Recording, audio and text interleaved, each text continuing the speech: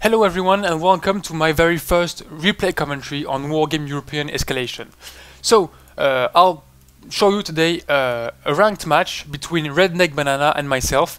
It was a very very nice match with a few errors on my side and uh, a few on his side also of course, hopefully. And uh, so I'm playing NATO, Redneck Banana is playing Pact of course.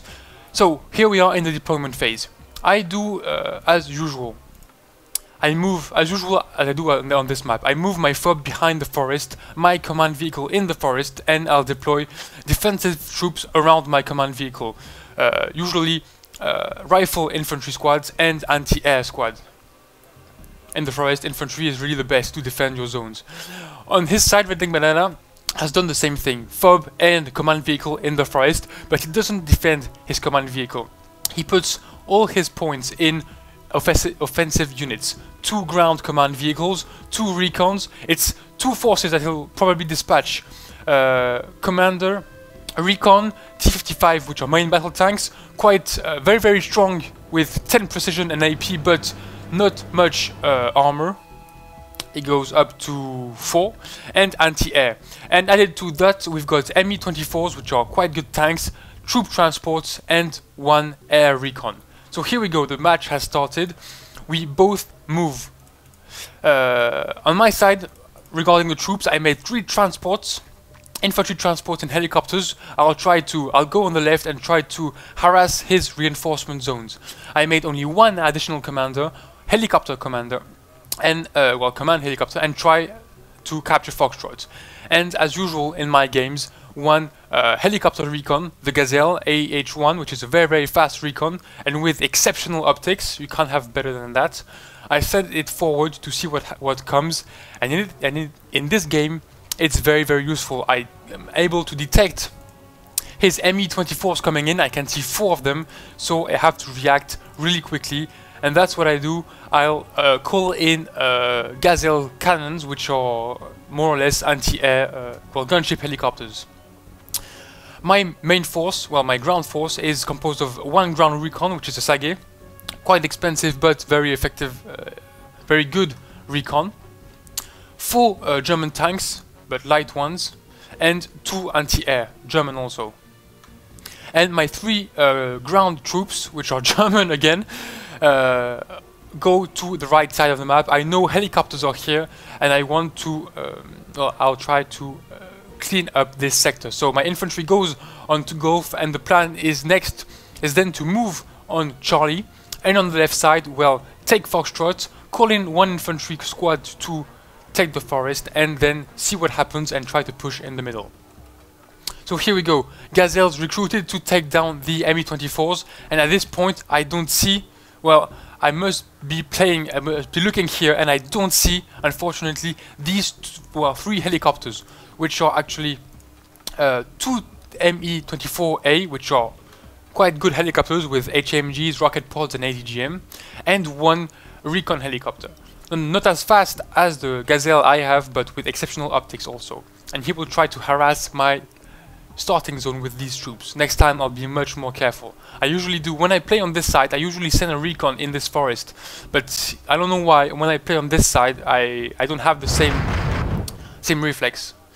So I'll, for now, push into Golf. I'll try to push back the Mi-24s fly away and I take down, take out the Spetsnaz with my infantry and my Gazelles. It's really too much firepower for these infantry guys. Here we go, it's destroyed.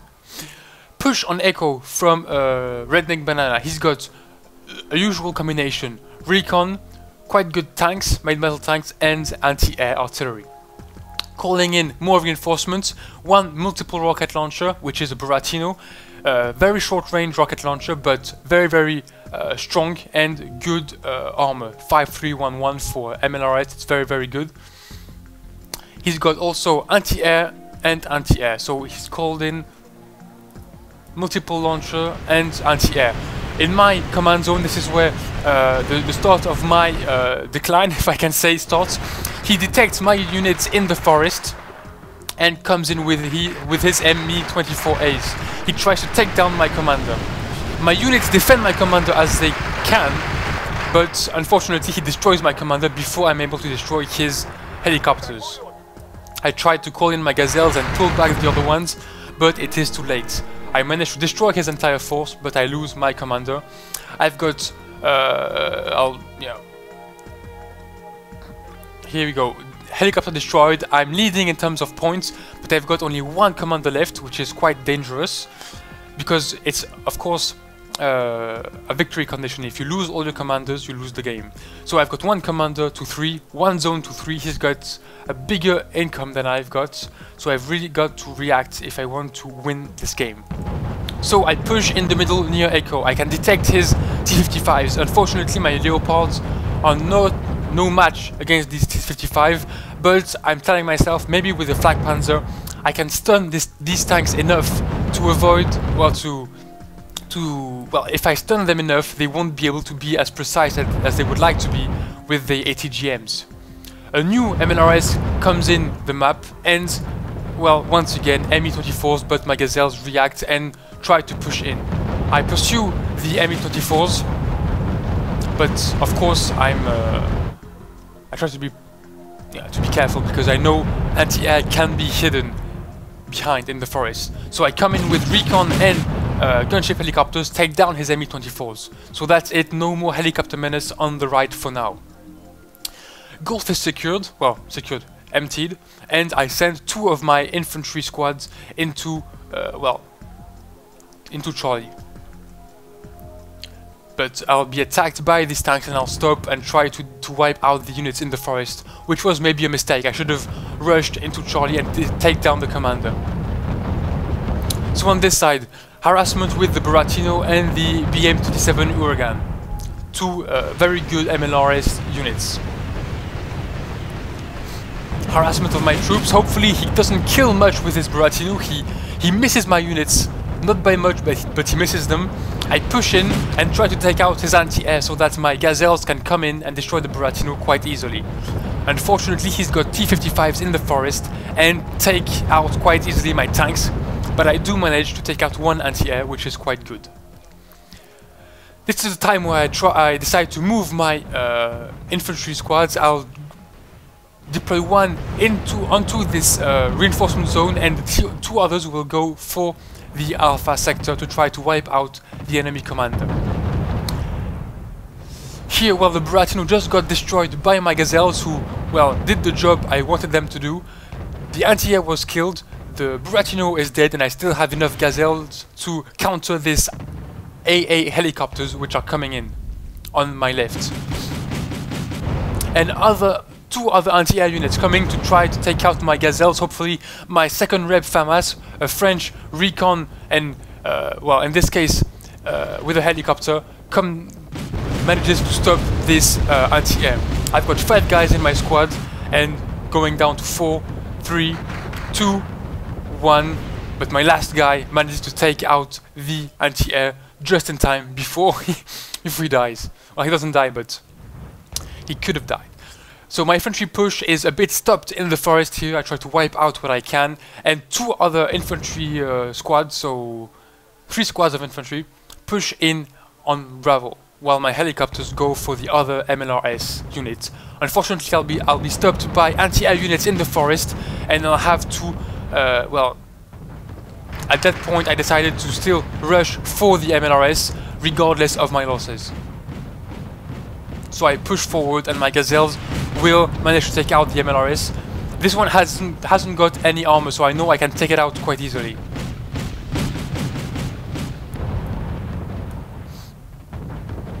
But unfortunately I may have lost a bit of the uh, my well I may have lost the control of my gazelles. I may have been looking elsewhere. Here for example and I tag the command units. I lose my all my gazelles here which is quite a bad move.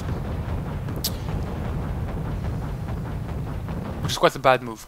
So in Charlie my two infantry units well two transports managed to pass while my infantry units are trying to wipe out the forest. The uh, command commander in Bravo is destroyed uh, Redneck Banana sees my helicopter, so he pulls back his commander, but unfortunately for him, well, I've got infantry squads coming in from behind, so he has to, well, come back the other way, and that's where FAMAS units, well, second rep FAMAS being recon infantry, I can see the commander.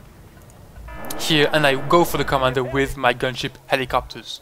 So this is nearly the end of the game. I've got one commander left, two for uh, Redneck Banana, and here is one of my bad luck moves. I try to destroy his commander here. I think it's destroyed because he doesn't control the sector anymore, but I didn't destroy it. He is just fleeing and going away.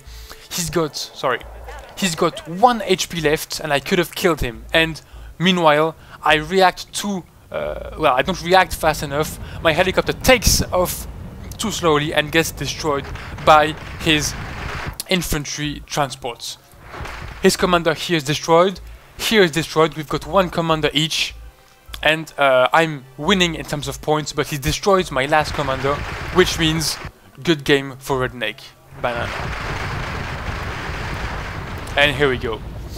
So, yeah, two mistakes from my part, not uh, detecting the enemy air assault into my uh, main sector, well, my, my, my debut sector, if I can say, and second, not uh, not making my helicopter, my command helicopter take off early enough. So these are the two main major mistakes I make in the game, but very very good game nonetheless. It was very very close, and well, Redneck Banana managed to pull the victory to to gain to win this match just at the last minute. So very very good match. Thanks for playing and thanks for watching everyone. I hope you liked it and see you next time.